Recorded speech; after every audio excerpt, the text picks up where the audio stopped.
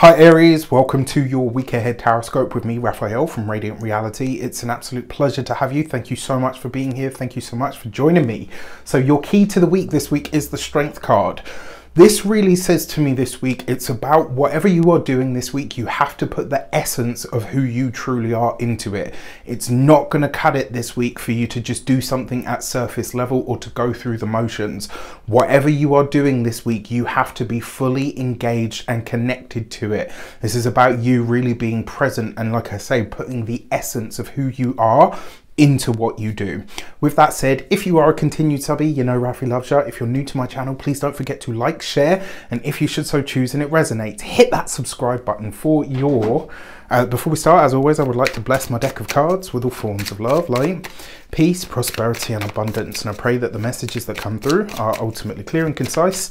They help you on your path to your highest vibrational good. So, uh, for your actions and options this week, you have the Two of Cups. So when it comes to partnerships, connections, and collaborations, this week you really do need to put your heart into it. All right. It does suggest as well that when it comes to relationships, you might be you might be sort of actually um, doing this from like an innate push rather than from the external world. So it's not like someone's forcing you to be more present in a relationship. It's like you are showing up more in partnerships, connections, collaborations.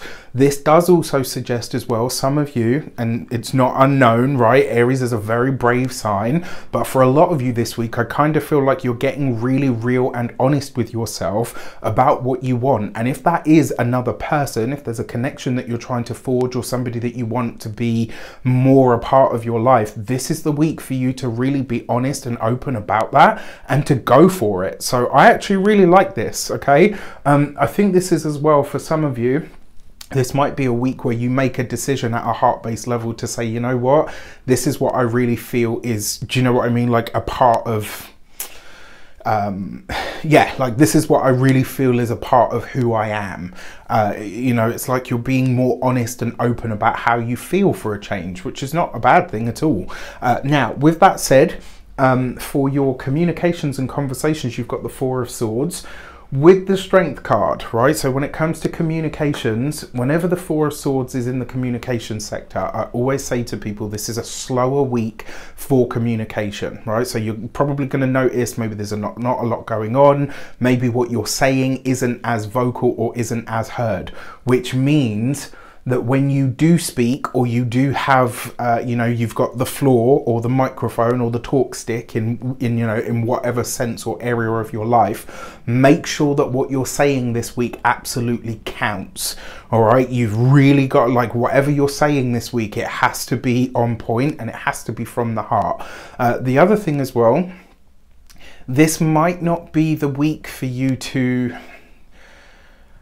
like if there's i mean it's a good week for communications and sharing from the heart space. Uh, it's just not everything all right? And this is why i say like this whatever you're saying it has to the quality of what you're saying is really more important than the quantity of conversations that you're having. When it comes to those of you that are um, in or studying or in some form of academia this might be a week where uh, you know some of the conversations that you're having you realize I'm going to get further on this, on this project, in this subject, um, if I actually connect with other people. This week is not really about going it alone, which is something that you do very well. This just isn't the week where you'll get those same results. For those of you that are um, employed by somebody else, honestly, remember what I said to you earlier about going through the motions? This week you might look at your job very differently. You might look at your job, the people that you work with or for. You might look at the whole professional sphere and say, hmm, for the first time in a long time, I'm not feeling fulfilled. Or actually, I could get more out of this if dot dot dot.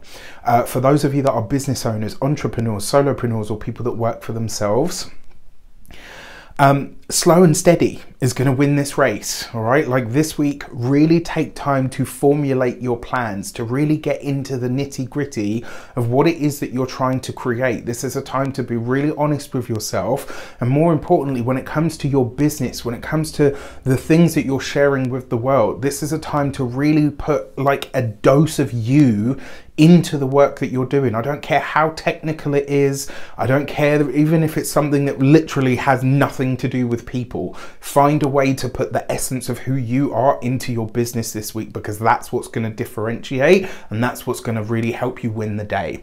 For those of you that are retired and no longer working, this is actually a perfect week for you to do some kind of um, yeah like r&r like rest recuperation this is a really great week to sit and you know even if it's just brainstorming with a pen what do you want? What do you need at the moment? If you're out of work and you're looking for work, what kind of work do you want that will be fulfilling to you at the core of who you are? It's not enough just to look for a job this week to fill the space, right? This week is really about you finding out what do I actually want and what do I feel will really nourish me at that heart space level.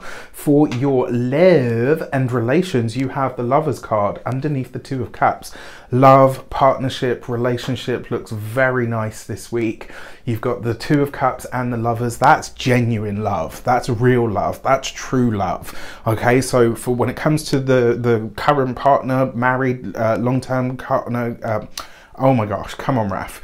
For those of you that are married, partnered, or in long term commitments, your relationship really is the strength and the core of everything this week. It's where you find, draw, and um, generate true power from within the conversation between you and your partner maybe there's not a lot being said, right? Maybe you're over there playing on your PlayStation and your partner's laying there, you know, reading their book, but their foot is stroking the side of your arm. You know, sometimes those kinds of connections are really, really beautiful and very powerful. So this week it does, it might not be, you know, all hearts and flowers and roses. It might just be, you know, yeah, I'm in a good space and this is what I want. For those of you that are single and looking, I mean, like I say, it's not about the quantity, it's about the quality, and the quality of connection really is there this week. And I think this is because you are coming from that heart space place. Um, so, love it. For your money and materials, you have the King of Cups. Um, all right, when it comes to finances, money, and resources, I'm just going to throw in a little promo here. For a lot of you, you had asked if Mindset Magic would ever be the discounted price that I released it at when I first released it at the start of this year.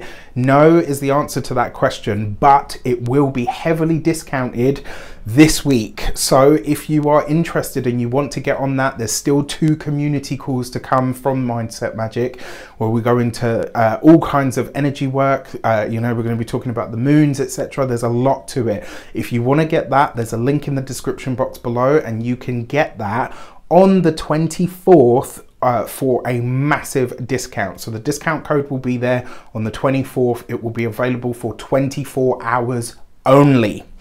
Now, for your money and materials, you've got the King of Cups. This and the Strength card and the Two of Cups and the Lovers. Your heart is your power pack, right? This is something I go into, and it's funny actually, because this is something I go into a lot in the Mindset Magic course. You want to talk about manifesting? It doesn't come from, you know, and all of that stuff. It comes from here, right? When you really have good command and centering of this, like man you, you'd be amazed at the stuff that can happen. There is a benefactor coming in. So a water sign male pisces cancer scorpio could feature for you over the course of this week.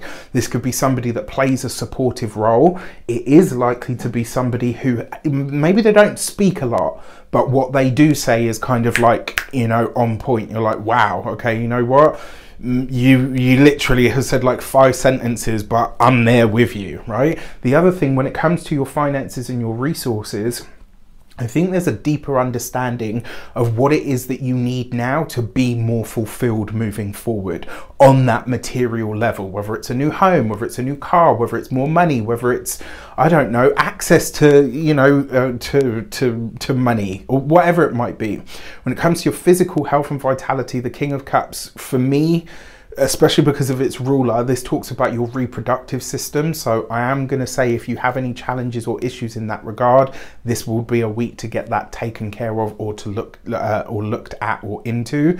Um, doesn't know there's nothing sinister here. Um, for those of you that are uh, or, should, or should i say for your home and environment the king of cups is beautiful because it suggests that love connection even if you're not with a partner even if you live alone home truly is a sanctuary this week. And it's like the energies that are coming into you at you for you that are being generated by you really are in that heart space. So you know what absolutely use it. This is such a gorgeous week. It's easy, it's smooth, it's harmonious, it's kind, it's loving, it's warm, it's gentle. Not things you necessarily associate with Aries, but that doesn't mean that you don't need them from time to time. With that said, I wish you an abundance of all of that good stuff. Have a fantastic week. Let me know in the comments how it shapes up. Take care, and I'll see you soon.